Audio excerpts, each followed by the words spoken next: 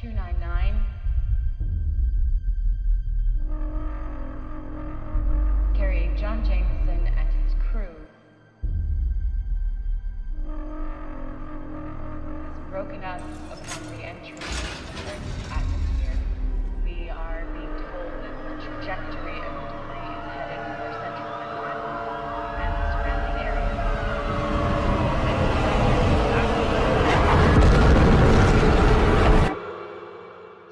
How could you do all this? You'll see, Peter. People need to believe.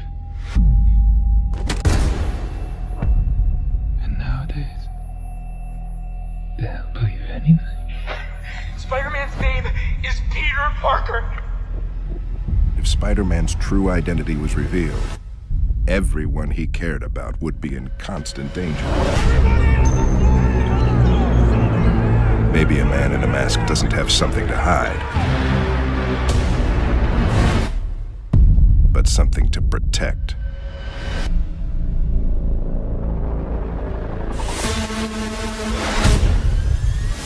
I'll get out of here. And I will.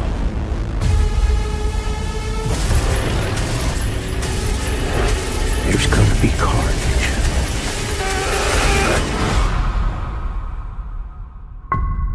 you believe in the devil?